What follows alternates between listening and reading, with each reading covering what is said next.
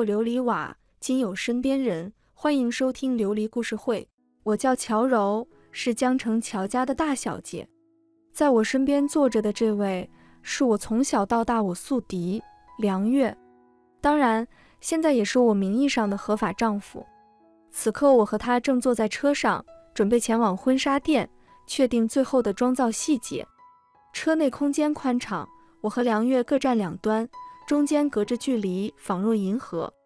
我拿着手机看着微博上的好几条热搜，无一不是关于江成梁、乔两家联姻的系列话题。话题内许多财经类的博主进行着热烈的讨论和分析，就连外行人也能看出来，这是一场极具商业性质的豪门婚姻。梁氏企业的官博恭祝着新婚快乐，配图是我和梁月的合照，照片中两人一脸不情不愿的模样。任谁看了都说不出幸福二字。最重要的是，这张照片里的我额头冒了一颗痘。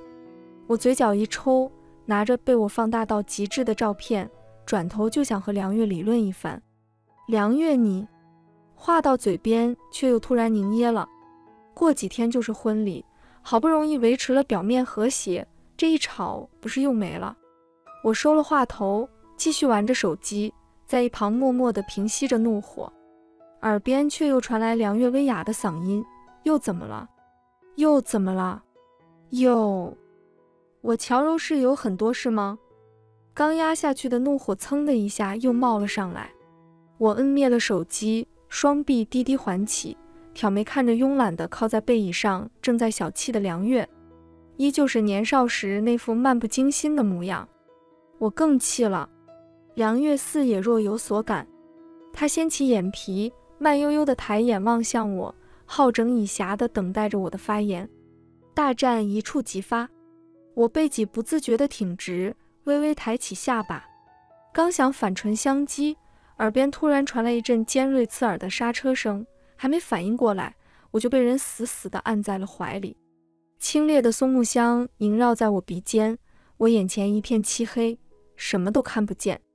耳边只剩各个方位嘈杂的鸣笛声，车身好像被撞飞了，又开始翻滚着，不断在坠落。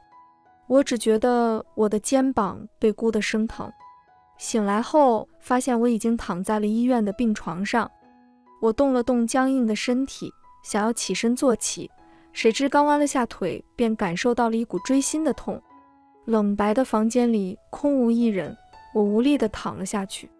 脑海中不断闪过车祸发生时的每一帧画面，梁月也不知道他和司机怎么样了。我呆愣愣地盯着天花板，却始终忘不了那个炽热的、仿佛能将人融化的怀抱，甚至一遍又一遍地在脑海里循环播放着。我脸烫得像发了烧，用手背进行物理降温好几次，也依旧毫无作用。他到底是什么意思？我们可是从小吵到大的宿敌，心底一个激动的声音突然冒出来。可是他救了你呀，还在那么危险的情况下抱着你。另一个粗犷的声音又立马反驳：“那你现在难道是准备和宿敌好好相处了？都要结婚了，当然得好好相处啦。你确定他不会认为你被夺舍了？”我用力地晃了晃脑袋，试图让自己不再胡思乱想。又将被子拉至头顶，把自己整张脸都遮掩着。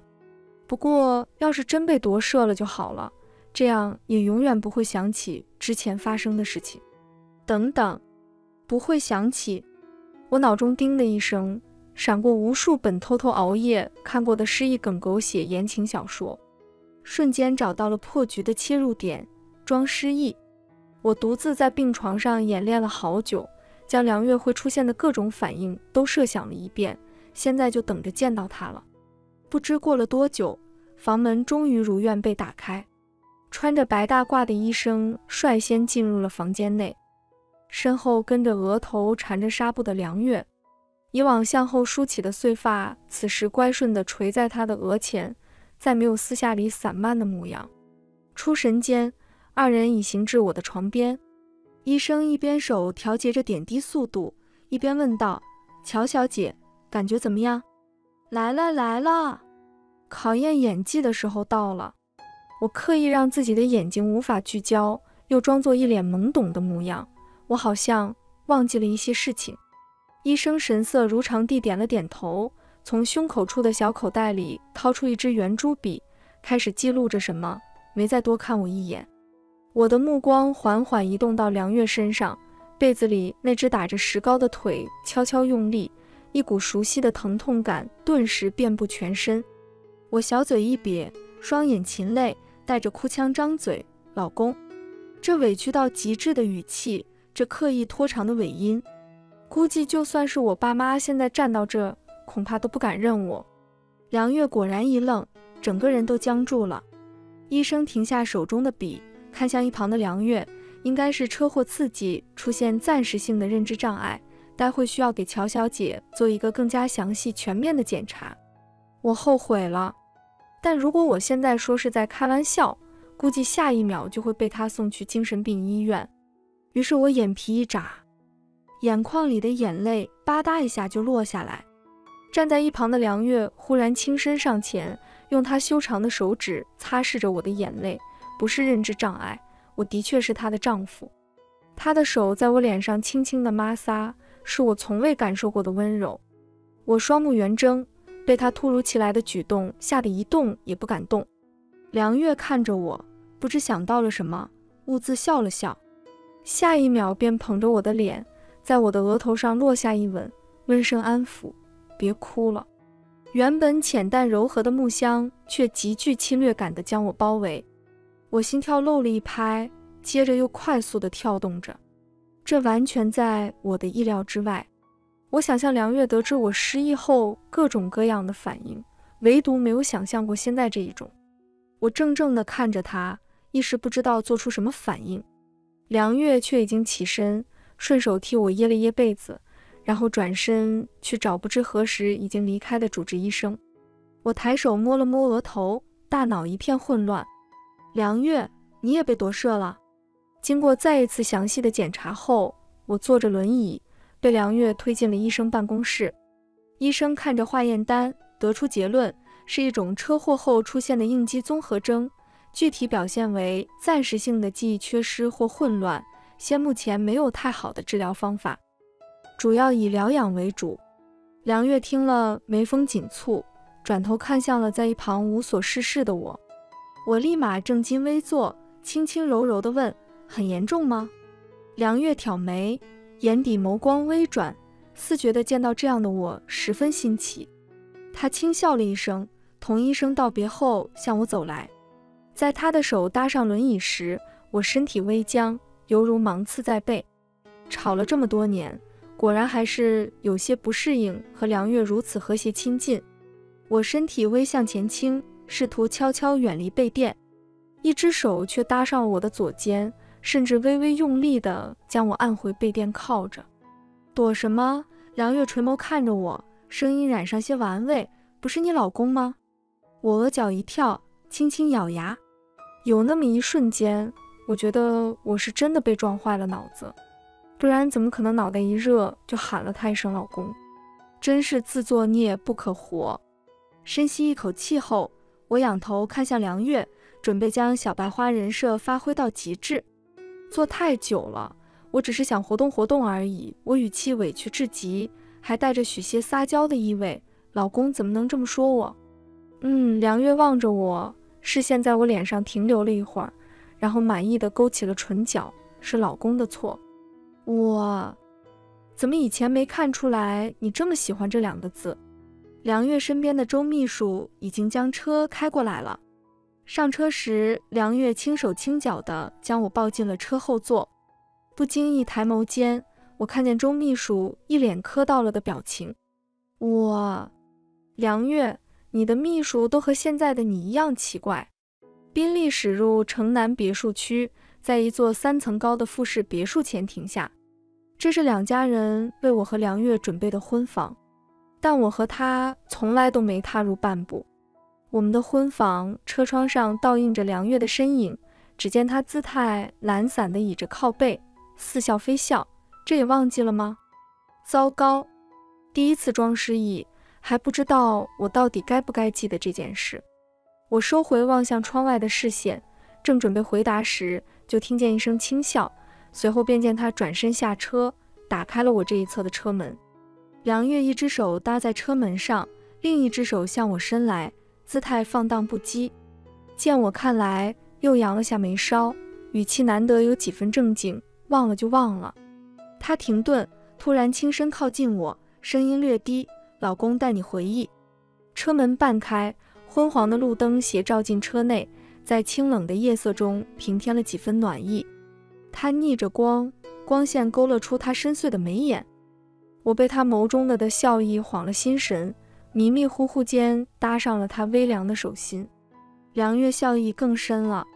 在我双脚刚沾地时，他将我拦腰抱起，还顺手掂了掂。身后的宾利扬长而去。不敢多留一刻。梁月抬脚走进庭院，颇有兴致地开口：“这院子里的一草一木，可都是依着你的喜好种下的。”我望向院中的亭台水榭、假山玉池，更有藤萝翠竹点缀其间，清幽雅致，的确是我喜欢的风格。可这跟你梁月有什么关系？据我所知，在这之前，你可是一直住在另外一套公寓里。我抿了抿唇。有些无语。进门后，漆黑一片，空气中弥漫着淡淡的花香。梁月单手托着我，打开了别墅里的照明灯。偌大的别墅里没有佣人，家具却整整齐齐地摆放着，崭新而干净。梁月将我放置沙发上后，仍站立在我面前。我仰头看着他轮廓分明的下颌线，不明白他要做什么。只见梁月扯了扯领口。忽然微微屈身与我对视，几秒后又十分具有侵略性的向我缓缓逼近。我心跳陡然加快，下意识的向后躲，警惕的看着他。你干嘛？梁月唇角勾起浅浅弧度，伸手拿起我身旁的靠枕，替我垫在了身后。有人腿脚不方便，梁月语气戏谑：“当老公的不得照顾照顾吗？”我双手抓紧了裙摆。心里不停地窜着小火苗，老公，老公，公你个头！直接把这两个字纹在你脑门上的了。我深吸一口气，一副岁月静好的模样。谢谢老公，老公真好。梁月嗯了声，笑意漫上眼角，懒洋洋地靠在了沙发上。可我哪能让他歇下来？我环顾别墅内的布局，侧头看向刚坐下的梁月，悠悠开口。原来这些都是老公精心挑选布置的吗？梁月身子微微向后靠，姿态悠然，嗓音从容散漫。除了我，还有谁？一副理直气壮的模样。我眨眨眼，对他提出要求，语气中含着一丝促狭。我有点渴。梁月身形一顿，挑眉看着我，递来的视线耐人寻味。片刻后，又不紧不慢地起身，刻意拖长语调：“行。”我去给乔乔找。别墅里的厨房很大，大到只能看见梁月一个人翻箱倒柜的忙碌身影。我忍不住弯了嘴角。我和梁月的婚礼在一个星期后如约举行，在这一个星期内，我和他的相处算得上友好，基本都是他说他的，我演我的。但毕竟是商业联姻，婚礼流程算不上繁琐，除去中午的正式婚宴外。重中之重还属今晚八点的天台晚宴。今年许多新兴企业入驻江城，梁乔两家本地企业不可避免地受到冲击。为了利益最大化，加之我与梁月在长辈面前表现和谐，双方决定以联姻的方式促成合作关系，稳定两家军心。这段时间，两家正忙着筹划各种方案，无暇顾及我俩的真实情况。今晚更是他们与各行各业交换信息的重要途径。我从来没有幻想过我的婚礼，我想梁月应该也没有想过。我和他二人左右，不过是一个从出生就等着嫁人和一个等着继承家业的区别，但这一点也不悲哀。此时的我身着婚纱，与宴会厅只有一门之隔。婚礼进行曲响起，面前沉重的门向两边打开。我终于看见了浪漫而梦幻的会场，成千上万朵红色玫瑰分布在会场各处，中间点缀着白色小灯，四星河坠入花丛。昏暗的宴会厅里，只有我身上这束柔和的光，跟随着我一步一步的缓慢移动。梁月穿着深色西装，姿态金贵的立在长廊的尽头。场内坐满了宾客，此刻却十分安静。我行至梁月面前站定，心情莫名有些复杂。梁月回望着我，幽深的眸底涌动着辨不分明的情绪。我拿起被人托举在一旁的银色婚戒。伸手握住他白皙修长的手，在戴上无名指的那一刻，我停顿了。我抬头看了一眼他，梁月挑眉，歪了下头。现在想逃婚？她顿了顿，将手向前伸了半寸，戒指卡在了无名指正中间，会不会有些晚了？我笑了笑，低头将戒指一推到底，只是怕老公不想娶。梁月低眸轻审，没有回答。她取过女戒。神色专注地戴上了我的无名指，下一秒，他俯身而来，单手托着我的后脑，另一只手落在我的腰间，唇瓣紧紧贴合，清冽的木质香拂过我的鼻尖，淡而灼热。明明是浅尝辄止，却让我心止不住的狂跳。梁月眸光深暗，声线低缓：“梁太太，下次别把这个忘了。”晚上八点整。国内外极具盛名的交响乐团早已在天台演奏着悠扬婉转的乐曲。我穿着珍珠白的紧身鱼尾礼服，挽着梁月的手臂，在媒体的闪光灯下露出幸福甜蜜的笑容。在梁乔两家对近期合作情况展开简要描述后，晚宴正式开始。各类名流集聚，在觥筹交错之间谈笑风生，唯有一处角落。与晚宴中的氛围格格不入，那是我与梁月一起玩到大的发小们，与他们结识还多亏了梁月。小时候，爸妈常常忙于公司事业，根本无暇顾及年幼的我。思来想去，想送去托管，又怕我孤单。后来与同样忙于事业的梁父梁母一拍即合，便直接把我送到隔壁梁家，让我和梁月一起玩。与他们相识的那一天。也是我和梁月成为宿敌开始的第一天。记得当时踏入大院时，小梁月正和他们在商讨今天该玩什么游戏。我穿着最喜欢的粉纱蓬蓬裙，踏着小皮鞋站在了他们面前。小梁月举起小手，提出大家一起玩枪战游戏。我不满地瘪嘴，娇声娇气地对着这一群正激动应和着的男孩子说：“想玩公主和骑士的游戏。”男孩们面面相觑，有的抠着小手，有的低下了脑袋，分明是不想玩，也不忍拒绝我的模样。但那时的我太小，还固执地站在他们面前，认为他们一定会和我一起去玩。后来，只有小梁月站出来，奶凶奶凶地对着我说：“世界上根本没有公主。”在听到这句话的几秒后，我哭着跑回梁家别院，在梁爷爷、梁奶奶面前嚎啕大哭。小梁月当晚就被梁爷爷打了屁股，好几天没能出去玩。噗！想起小梁月当时哭花的小脸，我忍不住笑出了声。梁月步伐一顿，侧头望向我，在笑什么？就是你。我笑着回答，却在下一秒止住了话头。好险，差一点就露馅了。不远处的许成杰正热情地向我俩打着招呼。小时候，大院里的人基本都在那边坐着，一看就不是什么正经人。但很抱歉，我乔柔现在只能装作记不得你们了。没什么，我收回视线，朝那处正在挥手的许成杰扬了扬下巴。要去那边吗？这不废话吗？依照他们和梁月三天两头约局的关系，这能不过去吗？看来又得演一场大戏。我看向梁月。等待着他的回答。天台上光线朦胧，淡淡的灯光恰好勾勒出他侧脸的轮廓。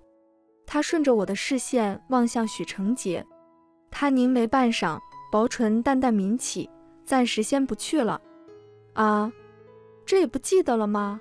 梁月放下我搭在他臂弯处的手臂，那是我们一起长大的发小。我依旧怔怔地看着他，他轻笑了一声。抬手在我的额间不轻不重地敲了一下。你先去，我还有事需要处理。我对上他那双蕴着散漫笑意的眼眸，有几分说不上来的不对劲。梁月见我没动静，又微微屈身与我平视，吊儿郎当地拖着腔调：“原来我家乔乔这么粘人。”我摇了摇头，抬步向角落处走去。行至一半，又回头看了眼梁月，他仍慵懒地站在原地，衬衫解开了两个扣，依旧是那副玩世不恭的模样。乔姐，月哥怎么没来？许成杰递给我一杯酒，看着梁月的背影，语气里充满了疑惑。我瞥了一眼许成杰，我怎么知道？你俩不是结婚了吗？怎么会不知道？许成杰开始不满地嚷嚷：“我不管，乔姐。”你必须把月哥叫过来！许成杰的大嗓门嚷得我头皮发麻，只好先无奈地应道：“行了，行了，他刚说有事，估计等会就来了。”许成杰闻言顿时一喜，还得是我们乔姐？什么乔姐？坐在环形沙发另一头的副处笑着接话：“现在应该喊嫂子。”对对，许成杰凑到我身边，碰了一下我手中的酒杯，笑得狡黠：“嫂子。”一声声妖娆妩媚的调子直往我耳朵里钻，我眼角轻轻一抽，几乎是咬牙切齿。许成杰道：“我微笑着看着他，别逼我在这个美好的夜晚扇你。”话音刚落，许成杰直接把脸对到了我面前，还一脸享受的闭着眼。不远处的付楚直接踹了他一脚：“行了，等会儿真删了，有你好受的。”许成杰挨了一脚。仍贱兮兮地凑回来说：“不过还真没想到你俩居然成了。”我摇着玻璃杯里的酒，只觉得耳朵边嗡嗡响。许成杰，你话真的很多。许成杰当然不为所动，直接略过我说的话，又自言自语起来：“你记得小时候你俩第一次见面就吵架吗？那不也有你俩的原因？”我十分无语。傅楚将手摊在两边，耸了耸肩，一副不关我事的模样。许成杰幽怨地看着我，嚷道：“那后来还不是陪你玩了半个月的过家家呀？”顿了顿，他又不甘心地干嚎：“整整半个月呀！”我揉了揉一侧的太阳穴，没再理他，将视线放向不远处。哪知道许成杰突然又来了兴致，他用手肘碰了碰我的手臂，用下巴点了下我视线所及处，正穿着和我同色系晚宴服的年轻女人。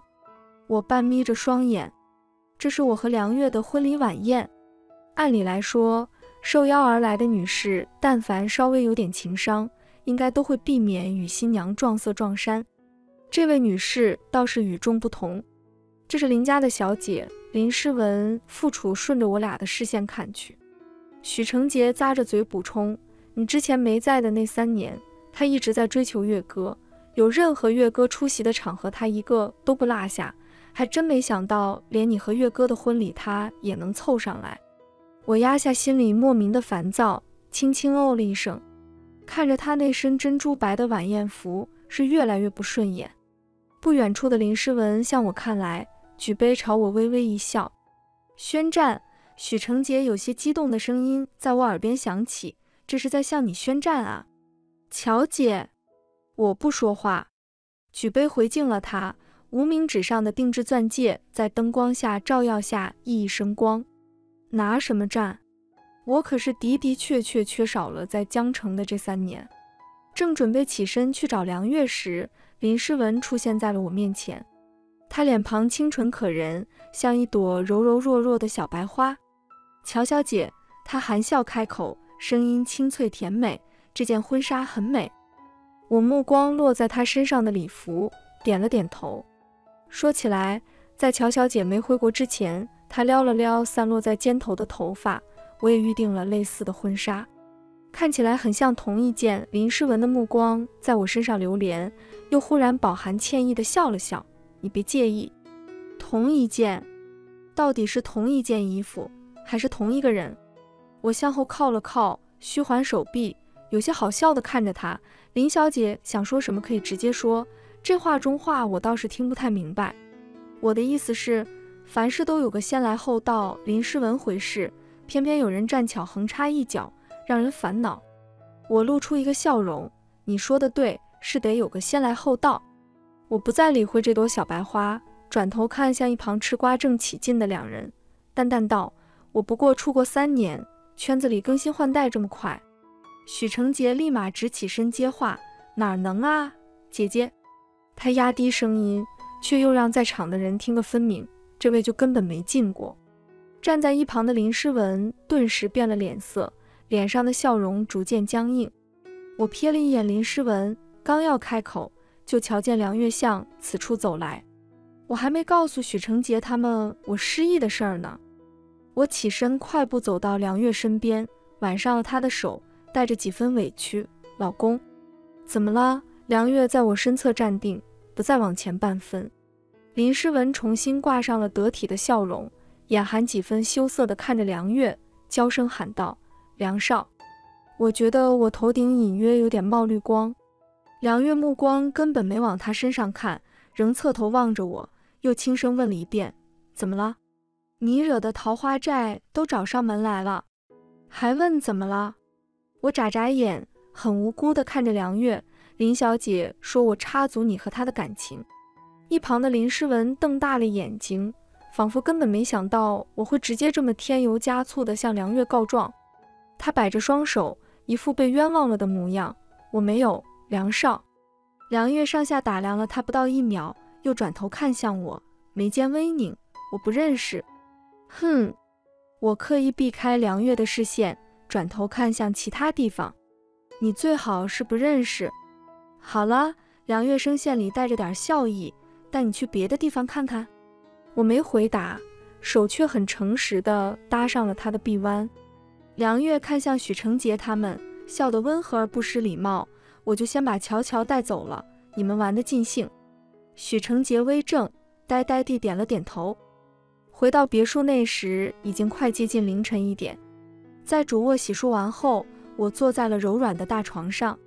这一周，我和梁月都是分房睡。是梁月主动提出来的，理由是虽然已经领证了，但还没正式举办婚礼。当然正合我意。我是失忆了，又不代表我愿意和梁月同床共枕。虽然这么想着，但我还是坐在床上，下意识地看着卧室紧闭着的木质门。时间一点点地过去，主卧门外没有任何动静。我双手抓紧薄被。原本平整的被子多出许多褶皱的痕迹，我抿了抿唇，这样最好。看来他也不过是例行公事罢了，我也用不着演什么恩爱戏码了。咔嗒，卧室门兀的被人推开，梁月穿着黑色绸质睡袍站在门口，门外的暖光将她原本散漫不羁的身影平添了几分柔和。我莫名有些生气，你怎么来了？话一出，我愣怔了一下，这语气怎么有点不太对，就好像在对彻夜不归的丈夫发着脾气。梁月勾唇笑了下，新婚之夜怎么能留乔乔一个人独守空房？说着，他迈步走到床的另一侧，理所当然地坐了上来。独属于他的木质香丝丝缕缕地萦绕在我身边，扰乱着我的心绪。乔乔不也在等我吗？梁月的目光落在我身上，声线中透着一股子散漫的笑意。我有些不可置信：“谁在等你了？”梁月闻言挑了挑眉，递来的视线耐人寻味。乔乔恢复记忆了，忘了还有这回事。我闭了闭眼，情绪瞬间切换，有些委屈。我只是以为老公不会来了，我不记得了。老公还会喜欢我吗？以前的事。对老公来说很重要吗？我故作哽咽地将问题抛给梁月，梁月好笑地看着我，那不都是你？而且不是说过？她轻顿了下，又开口道：“老公帮你回忆吗？从小时候第一次见面开始，你就喜欢我了，后来一直穷追不舍，直到今年才在一起。在一起后，你又哭着嚷着要和我结婚。”梁月偏头一笑。这不就结了？我，你在瞎说什么屁话？我侧过头，下意识的想反驳几句，梁月却忽然伸手拉了一下我的手，顺势上前，亲吻猝不及防的落下。心里原本一箩筐骂他的话全部消失殆尽，只剩如擂鼓般跳动的心。我有些慌乱，吻逐渐被加深。我和梁月的身体紧贴，呼吸也交融在了一起。奇怪的是，我好像并不反感。我的手不自觉地攥紧着他的睡衣，有些承受不住地向后仰。梁月，嗯，他的声音低沉平缓。有种说不出的温柔，梁月终于放开了我，却依旧将头埋在我的颈间，轻轻的在嗅着什么。他低缓克制的呼吸撒在我身上，有点痒。我忍不住耸了耸肩，环在我腰上的那双手却收得更紧了。我轻轻推开他，在我和他之间拉出了一点距离。梁月眸光悠悠，喉结重重的滚了滚。不行，我低垂着眼眸。至少，我慌乱地找着借口。至少等我恢复记忆。嗯，梁月伸出一只手，慢慢地梳理着我有些散乱的长发。那就等瞧瞧。我悄悄瞄了瞄他，试探性地往他身上靠了点，手也虚虚地环着他的腰。梁月溢出一声笑，带着点沙哑和低沉，撩得我耳根通红。他摸了摸我的头发，声音很轻：“睡觉吧，瞧瞧。”月光在窗边落下一道道细碎斑驳的光影，我看着梁月熟睡的侧颜，我心仍跳得厉害。梁月，其实你也有一点喜欢我吧？距离婚宴过去不久，许成杰又开始隔三差五的攒局。许成杰，乔姐，几日不见如隔三秋，周末来小聚一下呗，记得把月哥捎上。我，到底是你老公还是我老公？而且一起去了，我还怎么演？直接玩完了。我看了眼靠在沙发上看着文件的梁月，又低下头继续打字。我自己问许成杰，几乎是秒回。乔姐，你没发现月哥有点不对劲吗？我许成杰，上次你俩结婚时，他看见我和傅楚都没过来，看我俩的眼神简直像陌生人。好像是闲光打字不够彰显他的悲伤，还连发了好几段语音。我点开了第一条，却没想到是外放。一时间，别墅里只能听见许成杰放声干嚎的声音。一旁正在翻阅文件的梁月手一顿，目光轻轻地从我手机上掠过，又回到了文件上。我连忙调小了音量，头疼着安慰他，可能当时光线太暗没注意。放心，他还是最爱你的月哥。对面隔了一会儿才回复：“那你周末记得把月哥带来，行吧？”我又抬起头看向梁月，此时他不知在思考着什么，双腿随意的交叠，手里的文件好半天没有再翻一页。梁，梁月挑起一边眉，转头看着我。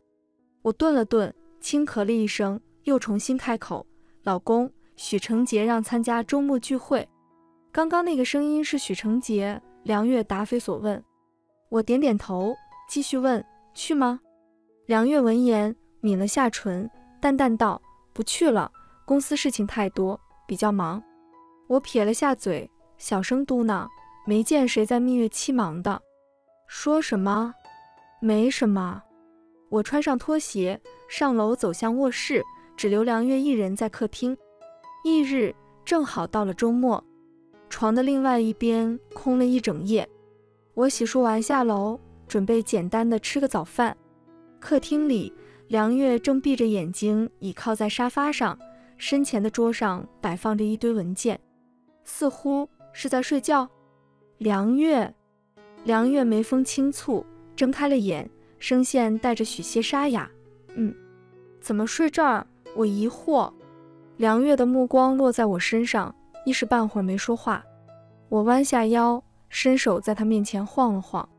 梁月忽然攥住了我晃动的手，指腹在我手腕处摩挲了下，一阵酥痒。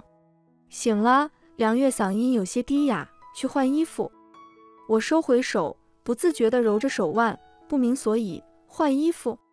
梁月唇角勾起，不咸不淡道：“不是想度蜜月？蜜月？”我懵了，梁月站起身，揉了揉我的脑袋。嗯，带你去玩。直到我坐在了私人飞机上，也仍然没有反应过来。身旁的梁月正在闭目养神，所以梁月昨晚是通宵处理公务了。为了我和他的蜜月，我望着梁月的侧颜，心脏莫名其妙地漏了一拍。我向空姐要来一条薄毯，轻轻地搭在了梁月身上。男人眉梢微动，扬起了嘴角。我应该是睡着了。迷迷糊糊间，我被梁月就着我身上不知何时盖上的毛毯抱了起来，好像又窝在他的怀里坐了许久的车，最后终于在柔软的大床上沉沉的睡了过去。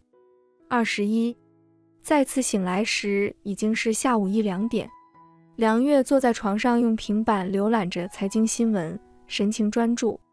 我抿了抿唇，伸手轻轻拉了下他的衣角。我醒了。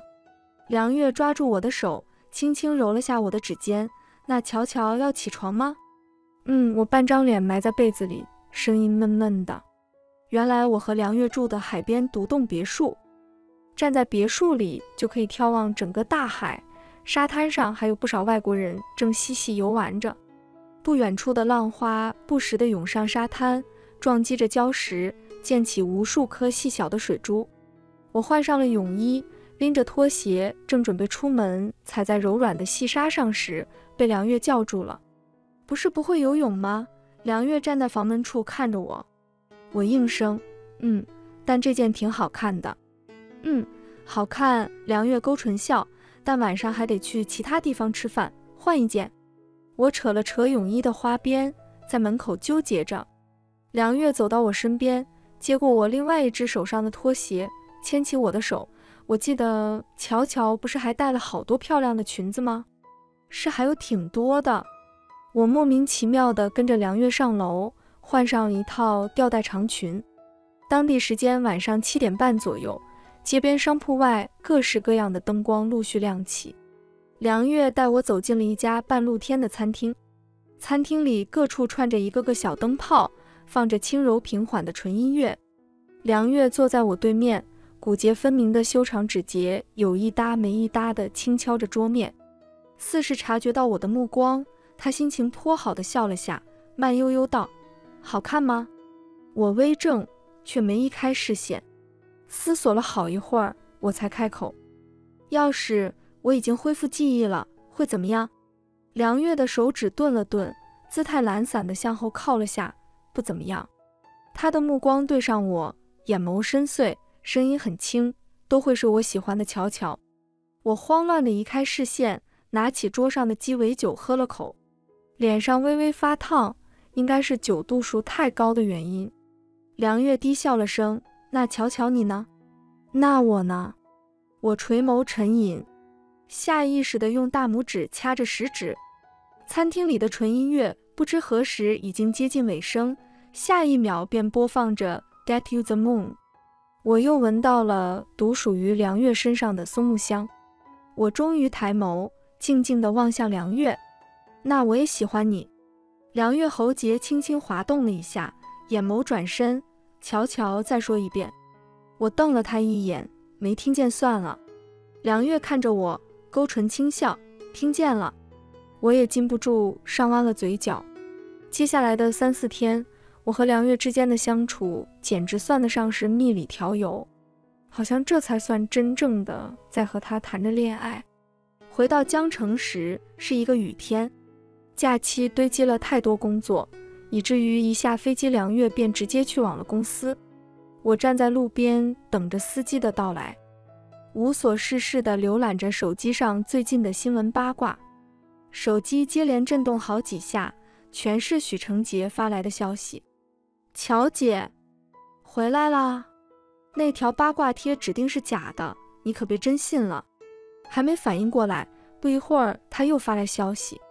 要是真的，也是过去式了。相信月哥，我皱了皱眉，点开微博，搜索着梁月的名字。词条紧接着出来的便是梁月林诗文。点进一看，热门帖还有更加醒目的标题。梁氏太子爷与他的白月光，有情人本应终成眷属，无奈竟被他人插足。整篇帖子里都在描述梁月大学时与他的白月光林诗文的相识相知。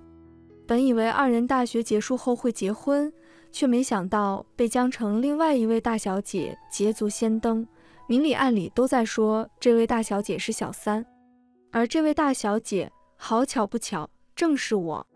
我站在路边，看着网络上铺天盖地的谴责。更有部分不理智的网友已经冲到许久未营业的乔氏集团官博下，纷纷留言表示愤怒。又是这三年，我出国留学的这三年，我摁灭了手机，回想起婚礼晚宴上梁月的反应，兀自出神。周秘书已经将黑色宾利停至我面前，他下车将我身旁的行李放置后备箱，随后替我拉开了车门。太太。梁总吩咐我来接您，我点头，没有应声。周秘书看了眼我的神色，又突然开口道：“梁总还在公司处理公务。”我没再看他，坐到车上，闭上双眼。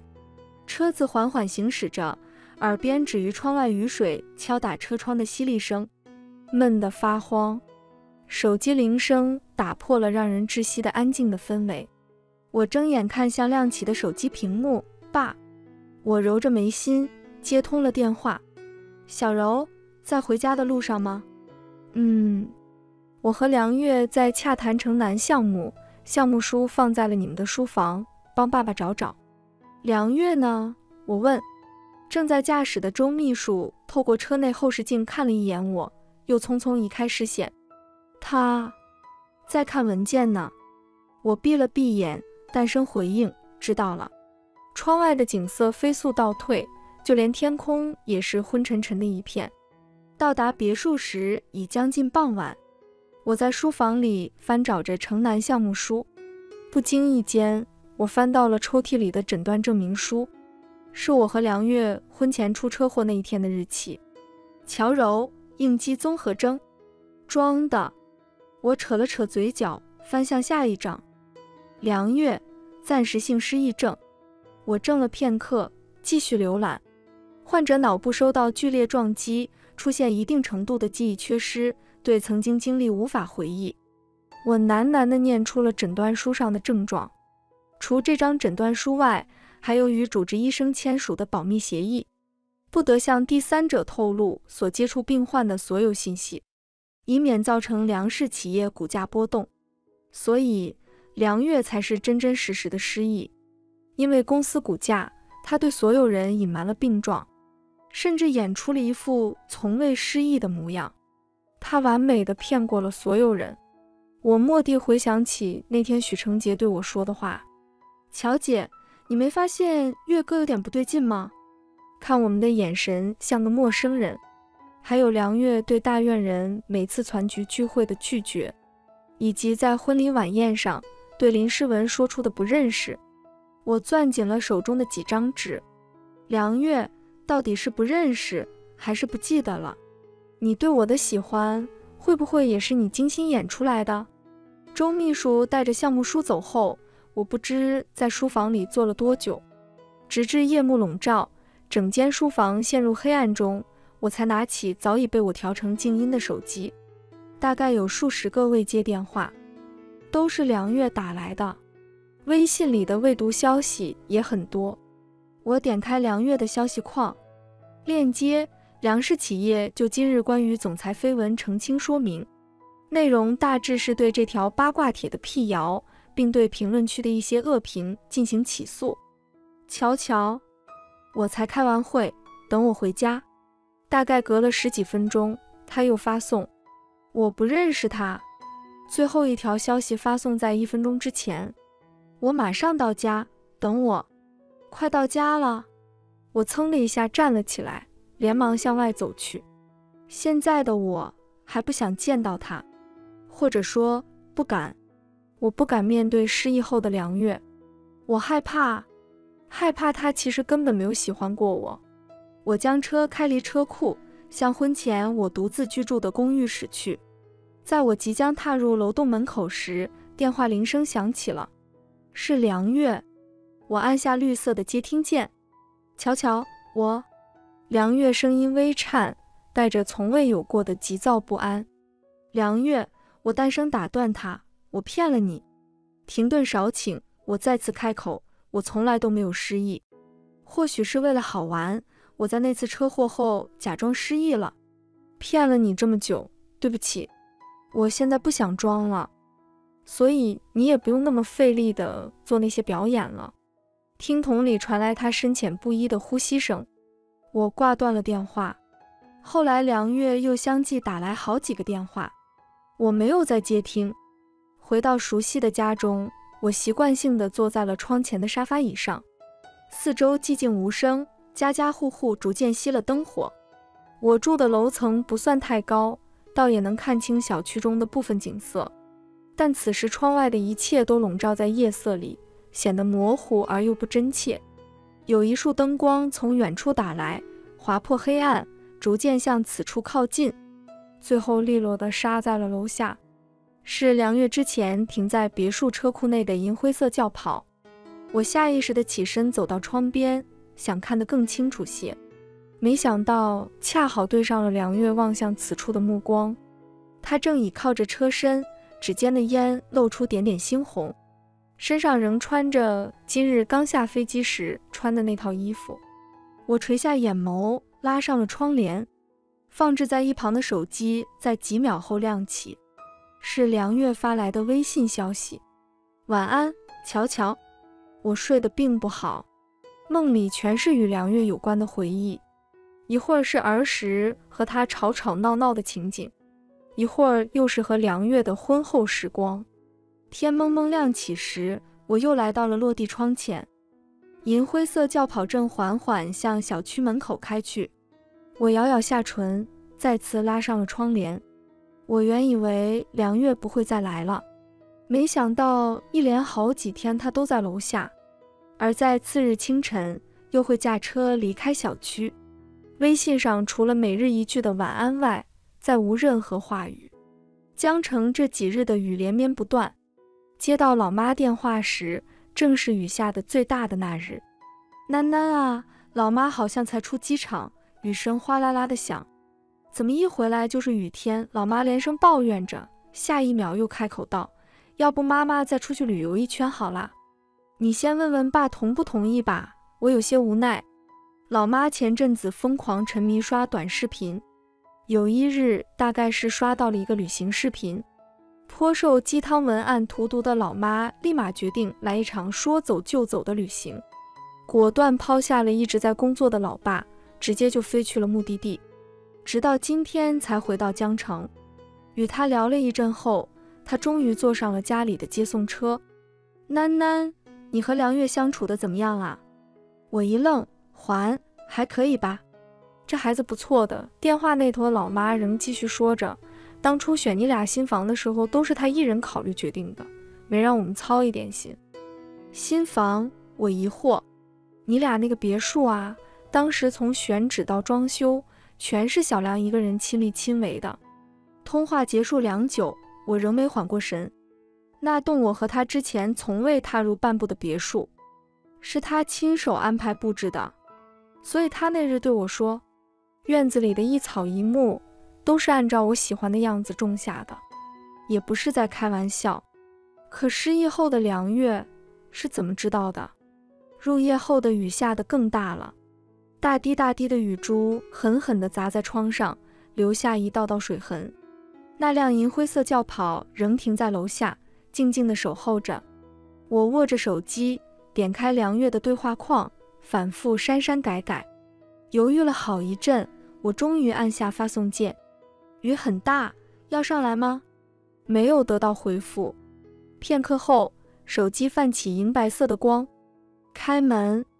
我，所以你早就摸清了我楼栋的密码以及我的门牌号。梁月站在门口，身上的衬衫略湿，丝丝点点的粘在她清瘦的腰线上。她乌黑的头发也沾着许些水珠，凌乱的散在额前。原本总是盛着散漫轻佻的眼眸也变得湿漉漉的。我眨了眨眼，现在的他就像一只可怜又狼狈的落水大狗狗。梁月上前一步，牵起我垂在身侧的手，声音带了些淡淡的哑。瞧瞧，我闻到了他身上淡淡的烟草味。见我没反应，他捏了下我的指尖，还是很低声的唤着瞧瞧。我暗叹一口气，很轻的嗯了一声，反握住他带着凉意的手，将他带进客厅。今天一天都在下雨，车上没伞吗？我递给他一个干净的毛巾。梁月接过。却只是将它搭在头顶，顿了良久，他才不自然地开口：“坏了。”什么？梁月别开目光，雨伞坏了。看着沙发上的落水大狗狗，我有些忍俊不禁。刚弄坏的。梁月似乎捕捉到了我短促的笑声，一双漆黑湿润的眸子一眨不眨地望着我，眼里有点点细碎的光。瞧瞧，嗯，我站在他身侧。一只腿半跪在沙发上，伸手擦拭着他头发上的水渍。梁月有些得寸进尺地搂住我的腰，身体也一点点试探着靠近。梁月感受到梁月带着潮气的身体，我警告性地唤了一声。梁月不为所动，仍环臂轻靠着我。梁月，我合理怀疑你在卖惨，但巧的是，我乔柔好像就吃这一套。先去洗澡，我推了推他，试图拉开一点距离。梁月闻言，只是又用脑袋蹭了我两下，再抱会儿。松木香混着淡淡的烟草味萦绕在我鼻尖，并不难闻。我摸着他身上半湿不干的衬衫，你抽烟了？我垂眸看向梁月，补充道：“很臭。”于是几秒钟不到，男人已经毫不迟疑地起身去了浴室。我端着一杯温水走进客房卧室，梁月坐在床边，头发蓬松干燥，很明显是刚吹完头发。我放下水杯，准备离开房间。瞧瞧，梁月起身拉住我的手，对不起。我顿住脚步，睨了一眼他，小声嘟囔着：“现在才说对不起。”我听见梁月很轻的低嗤一声，随后一双手便一把箍上我的腰际，我腰上一紧。反应过来的时候，我已经坐在了梁月的怀里。以为你不想见我，他解释。况且道歉得当面说才有诚意。梁月的声音低哑微沉，贴着我耳畔响起，酥酥麻麻的挠着心口。你再说我没诚意？我拧眉，有些恼怒的瞪他。没有。梁月当即否认，态度颇为温和。乔乔的道歉最真诚了。他抬眼看着我。眉梢带了点淡笑，我忍不住抚上他的眉眼。你还是梁月吗？我试探着问。梁月微愣，反应过来后又无奈地笑了起来。瞧瞧，我是失忆，不是换魂。那你……我含混不清地嘟哝了一句。梁月没有听清，靠近我半分。什么？我深吸一口气，飞快地重复。那你恢复记忆之后还会喜欢我吗？其实自始至终。我担心的都是这个问题而已。我的手抚过他的脸颊，梁月轻轻地蹭了蹭，温声回应：“不是说过都是我喜欢的乔乔吗？”哦，我嘴角翘了下，有些抑制不住的雀跃，但还是口是心非的反驳着：“你又说不准。”梁月险些被我气笑，他一只手箍在我的腰间，一只手拿出他的手机，解锁后递给我。我不明所以。突然让我查手机，梁月轻扬了下眉梢，打开看看。我接过手机，直接点开微信，提醒道：“梁月，劝你别太自信。”怎么啦？你没听过吗？我看了梁月一眼，网上有句话说，没有一个女人能从男人的手机里笑着出来。梁月嗯了声，声线带着一丝调侃。那乔乔可能会是那个例外。我没再理会他。专注地看着手机，其实也没什么可以检查的。梁月的消息列表中大多都是简明扼要的姓名，只有我被放在了置顶，备注是老婆。我思索了一番，在顶端缓缓输入了林诗文三个字，没有相关联系人。我满意的轻晃了下手机，还不错。梁月好笑的看着我，只是还不错吗？嗯，我尾音轻扬。带着明晃晃的得意，梁月拿回手机，用手圈住我，使我和他能同时看见手机屏幕。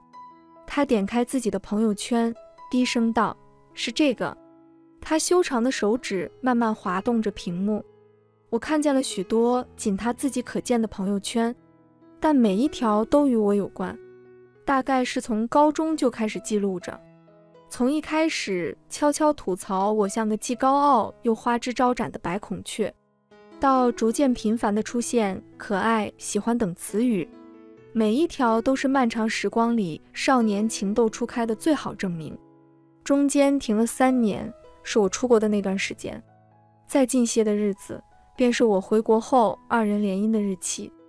而最后一条朋友圈停在了我和梁月出车祸的那日，我脸慢慢热了起来，甚至有些发烫，我唇角禁不住上扬。所以，梁月，你从那么早就开始暗恋我了？梁月看着我得意的神情，忍不住亲了我一下。目前看来是这样的。他清顿，又继续补充道。并且这份感情一直持续到了现在。那你和我吵架都是想引起我注意？梁月眸中带笑，故作沉思，这就不知道了。我捶了一下梁月的肩膀，你最好快点想起来。好，梁月眸中带笑，顺势将我抱起放在床上。那现在可以睡觉了吗，老婆？我环着梁月的脖子，主动亲了她一口，然后轻抬下巴，嗯，准了。梁月没动，垂眸望着我，眸光渐深，放在我腰间的手臂渐渐收紧。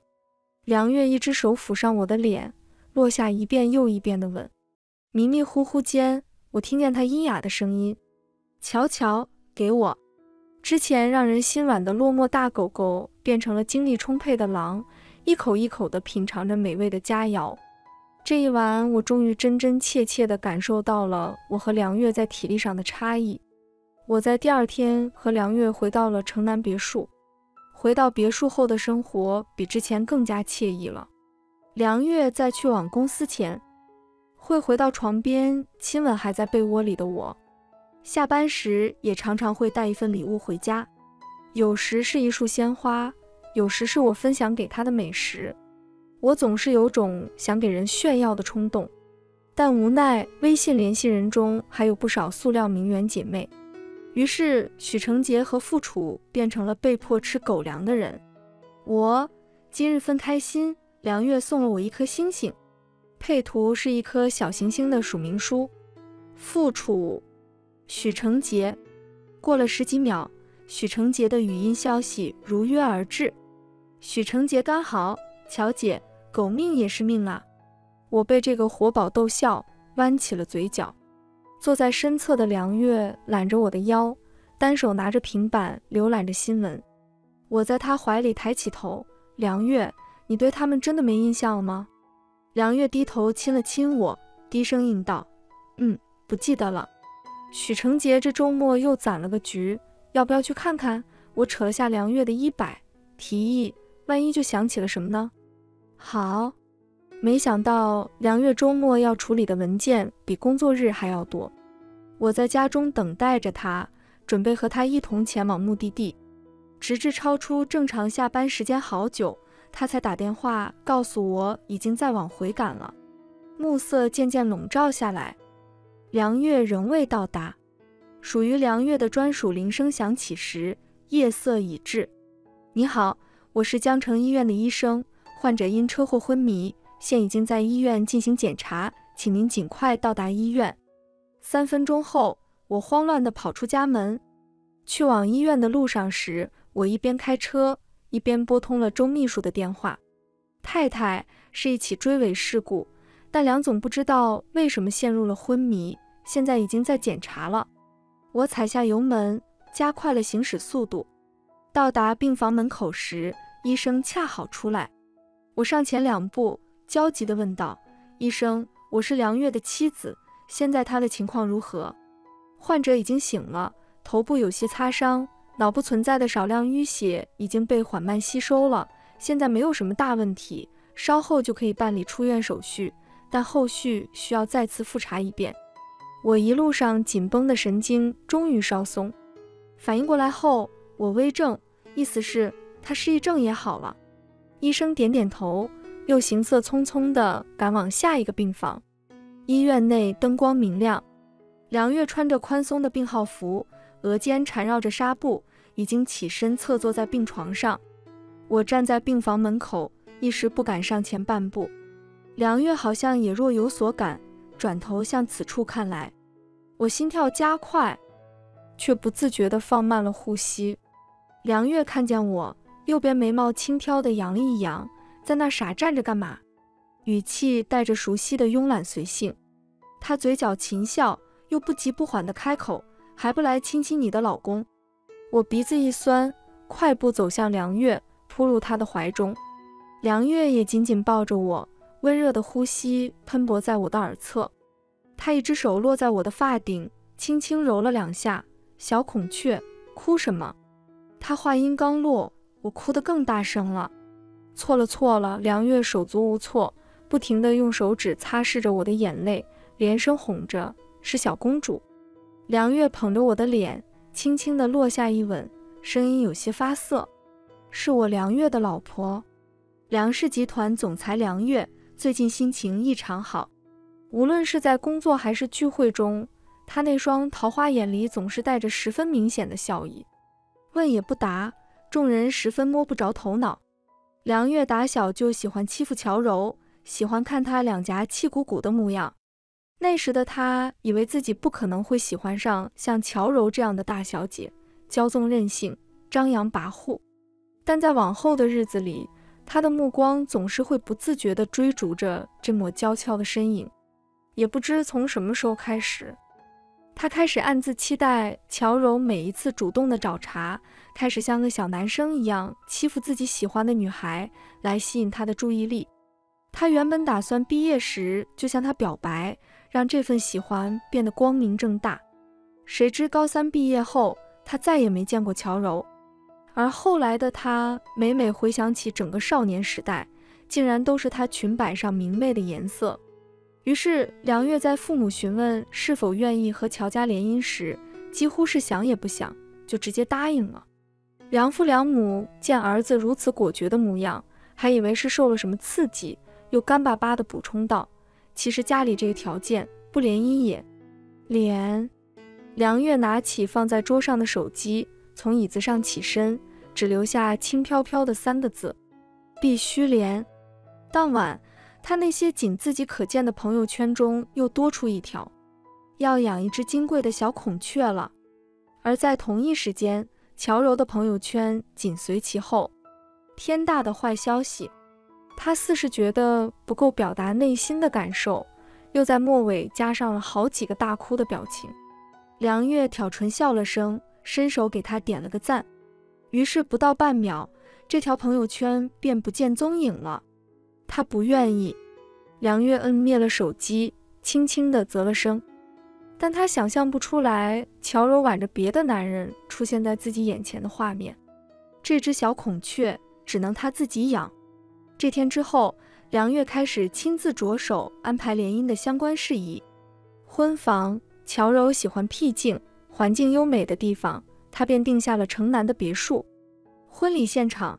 他订购了成千上万朵玫瑰，铺满会场，如同乔柔一般明媚而张扬。至于婚纱，只能让乔柔自己挑选了。这天，他和乔柔坐在宾利上，前往婚纱店确定最后的细节。为腾出空闲时间而熬夜工作的梁月，正靠在背椅上小憩着。梁月，你小孔雀好像又炸毛了。梁月将乔柔的小表情收入眼中，唇角若有若无地弯了一下。又怎么了？他转过身，弯起臂膀，模样一如既往的娇俏可爱。梁月视线定格在乔柔白净的脸庞上，唇边的笑意还未完全绽放时，余光便瞥见一辆私家车不受控制地向乔柔身后飞驰而来。一切发生的太快，梁月来不及多想。直接将坐在车窗边的乔柔搂入怀中，紧紧拥抱着。小孔雀很怕疼，所以不能让它受伤。梁月再次醒来时，是在医院的病床上，他大脑一片空白，甚至不知道自己为什么会在医院。直至主治医生过来，告诉了他现在的情况，他大脑才做出下意识的反应。与医生签订保密协议。等医生走后，他拿起了屏幕有些碎裂的手机，开始了解缺失的记忆。于是他凭借着微信中那些仅自己可见的朋友圈，踏过悠长的岁月，窥见了自己无声的暗恋与这场早有预谋的婚礼。在这之后，他来到了乔柔的病房，但他不知道该怎么面对她。此时的乔柔躺在病床上，穿着一身病号服，在和医生交谈着。他的目光渐渐落在她身上，四目相对时，他突然红了眼眶，表情委屈到了极致，语气带着哭腔：“老公。”梁月的心一下又一下的跳动了起来。见他掉下眼泪，他的心也充斥着一种密密麻麻的酸涩感。记忆中缺失的脸庞逐渐清晰，梁月俯身落下一吻，温声安抚着他。这的确是他的小孔雀，他想。梁月恢复记忆之后，我总是觉得格外别扭。虽然从种种迹象来看，都是梁月先喜欢上我，但现在只要对上他那双含笑的眼睛，我总是会害羞。瞧瞧，梁月将车停在许成杰新开业的酒吧前，我坐在副驾驶，侧头看了眼梁月精致的侧脸，又快速的扭头，目不斜视地盯着前窗外的花篮。耳边传来一声无奈的叹息，我疑惑扭头，却突然对上男人放大的脸。梁月伸手捧着我的脸，唇瓣和我紧紧贴合，缠绕的唇齿间尽是他的气息。片刻后，他放开了我，眼里有种说不出的温柔。还要害羞多久？他嗓音低缓平稳。我莫名心虚了一瞬，嘴硬道：“谁？谁害羞了？”嗯，他的视线又落在了我的唇上，嘴角带着笑。老婆没有害羞，老婆，这是梁月恢复记忆后第一次叫我老婆。我极快地眨了一下眼，有些抑制不住唇角的笑容。